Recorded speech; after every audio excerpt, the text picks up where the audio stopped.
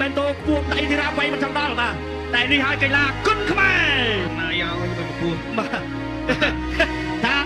ថាធឿនធីរ៉ាថាព្រមសំណាយទៅខ្ពស់មកមើលមែនតោអើឈឿនល្បីបាញ់បាញ់តែកពស់មកមែនតោបាទយេបាទហូបអីខ្ពស់ឡើងឡើងបាទ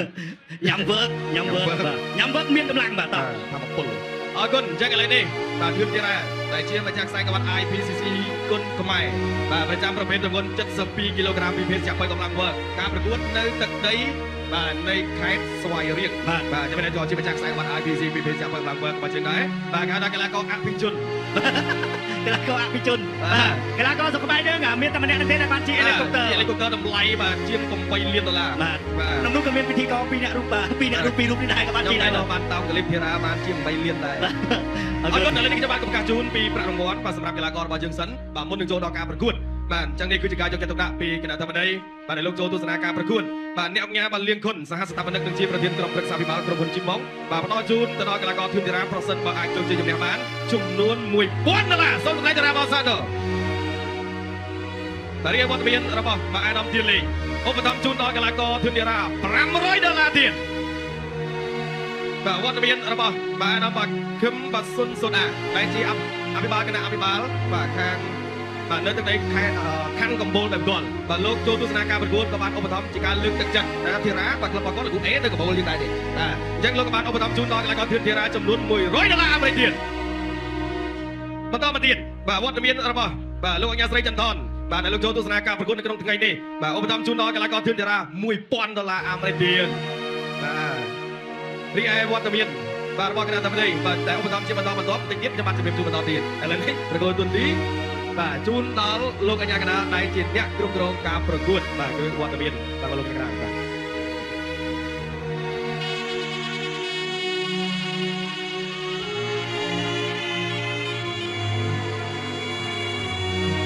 អេអរគុណច្រើនឥឡូវនេះខ្ញុំបានក៏សូមជម្រាបជូននៅជីវប្រវត្តិសង្ខេបរបស់កីឡាករទាំងពីរគូចុងក្រោយរបស់យើងហើយសម្រាប់រាត្រីនេះ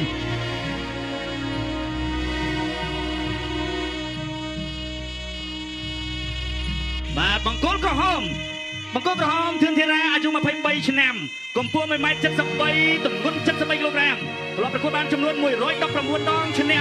86ដងចាញ់27ដងស្មើ6ដងនិងធ្លាប់ដួលប្រកួតឲ្យសន្លប់លើសមានបានចំនួន39ដងលោកលោកស្រីអ្នកនាងកញ្ញាបង្គោលក្រហមអ្នកលេងពុ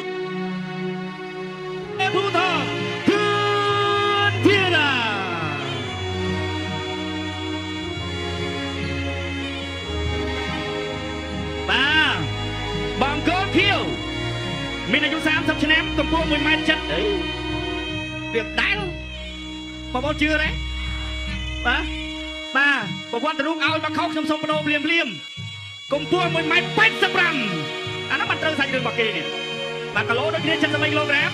ធ្លាប់ប្រកួតបានចំនួន38ដងឈ្នះ34ដងអាយ៉ាក្រែល ស្មើតែ4ដងទេហើយនឹងធ្លាប់ដួលគូប្រកួតឲ្យសន្លប់ទៅលើសម្រាប់បានចំនួន15ដងលោកលោកស្រីនាងកញ្ញាស្វាគមន៍អន្ត្រីឆ្លងដែនមកពីប្រេស៊ីលបែនតូបាទបាទបែនតូគាត់ថ្វាយបង្គំគ្រូរួចហើយបាទនៅឡើយតែធានតារារបស់កម្ពុជាទេបាទថ្វាយបង្គំគ្រូរៀងយូរបន្តិចហើយតាមរូបមន្តតាមក្បាច់ក្បូរពេជ្រករបស់យើងចាំ មើលអេលិចនៅខាងក្រោមហ៎គេញឹមគ្នាវាយនៅខាងលើបាទការជនជាតិដូចគ្នាបាទប្រេស៊ីលដែរបាទគេសោយទៀតបាទបាទគាត់ចេះស្ដាប់ខ្មែរទៅវិញផ្ដៅហើយបាទទៅវិញផ្ដៅហើយបាទឥឡូវឥឡូវខ្លាចជាតារាប្រចាំក្លឹបហើយបាទអរគុណអញ្ញាកដាលគ្រូម៉ាក់សមឿន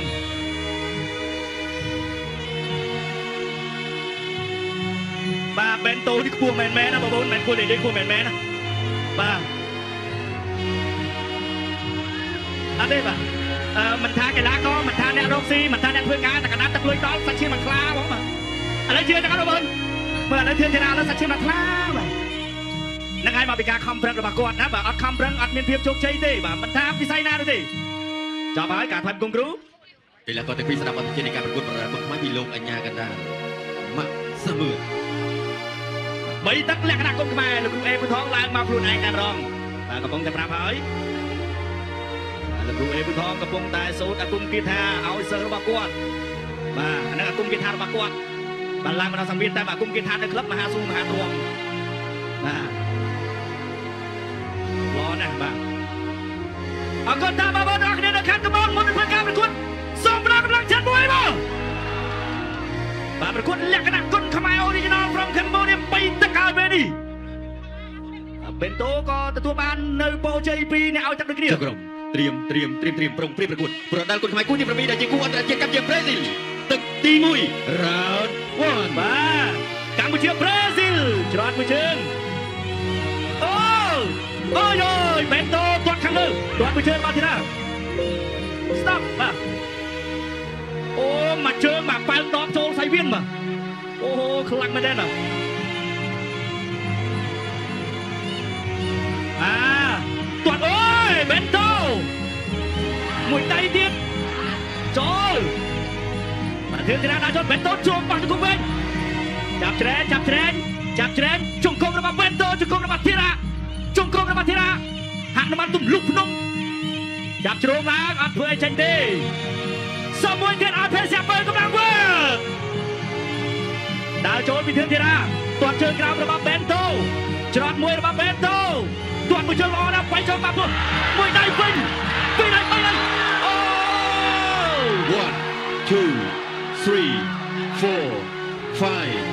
6 7 8 9 10ធឿនធីរា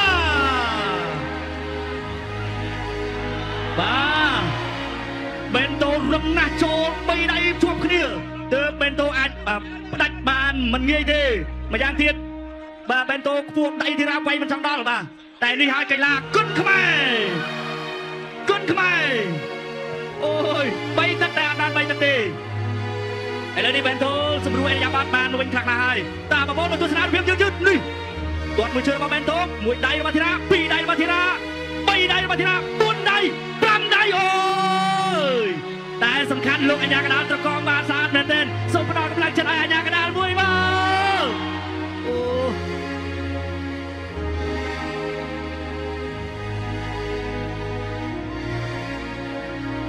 ហូឲ្យគុនខ្មែរមួយទៀត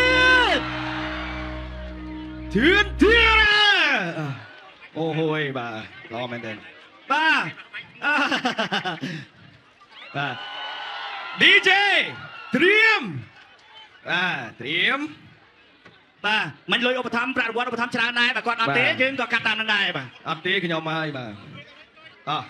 បាទឥឡូវនេះមិនមែនជាការសំណុំពររបស់ខ្ញុំទេបាទសិស្សបងអូនរួមក្លឹបអេអាមេរិនថាបាទបងខ្ញុំរួមឲ្យខ្ញុំមើលមួយបាទបាទថោះឥឡូវនេះបាទមកកណ្ដាលគេសិនបងឲ្យប្អូនកាចារក់ របស់ ធឿនធីរ៉ារាប់បាទ បាទអេ ត្រៀម បាទ DJ បាទ បាទបាទលើកដៃសិនទៅគ្រាន់តែរាប់សិនណាយកយកយករាប់ DJ play music 3 go ទី1នៅពេលដែលយើងចប់កម្មវិធីយើងនៅមានរួមលេងជាមួយ DJ បន្តទៀតបាទបាទនៅមាន DJ ស្អែកប្រគល់មន្ត្រីមួយថ្ងៃទៀតបាទនៅមានមួយថ្ងៃទៀតអរគុណតោះបាទឥឡូវនេះ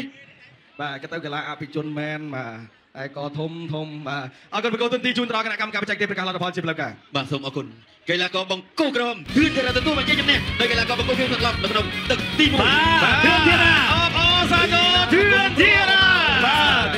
គុនខ្មែរគុនខ្មែរគុនខ្មែរ original from Cambodia បាទអញ្ចឹងឥឡូវនេះបាទធីរ៉ាមកកណ្ដាលនេះសិនបាទខ្ញុំបានប្រកាសជូនរង្វាន់បាទលើកទឹកចិត្តពីគណៈធិបតីបាទជូនដល់ធីរ៉ា បាទធីរ៉ាបាទអេបាទអត់យកលុយបាទអត់យកលុយទេឯងអូបាទអរភ្លេពេចកបាទមិនអរអឺពេកដល់ភ្លេចភ្លេចអីបាទភ្លេចលុយបាទអរគុណចឹងឥឡូវនេះបាទវត្តមានរបស់អ្នកញាបាទលៀងគុណបាទឧបត្ថម្ភជូនដល់កីឡាករធឿនធីរ៉ា